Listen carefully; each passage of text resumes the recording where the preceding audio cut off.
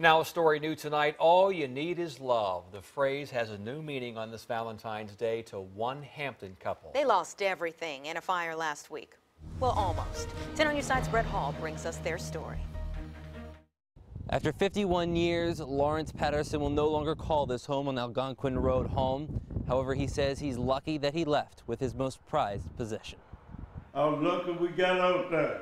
A little over a week ago, 91 year old Lawrence and his 82 year old wife Lily awoke to the sound of their dog and a smoke detector. The fire was coming toward the den.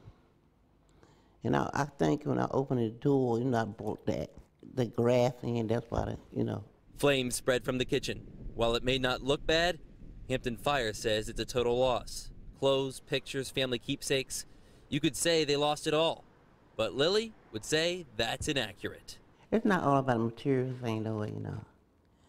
It's all about how God brought us out that fire. On this Valentine's Day, she says nothing bought in a store could replace the feeling she has tonight, sitting in her son's home. You got Jesus and me, my husband, and my family surround me. That's a blessing right there. She says even after what she's been through, As long as we have each other, got Jesus and got people that love us, that's the main thing. she has all that she needs. In Hampton, Brett Hall, 10 on your side.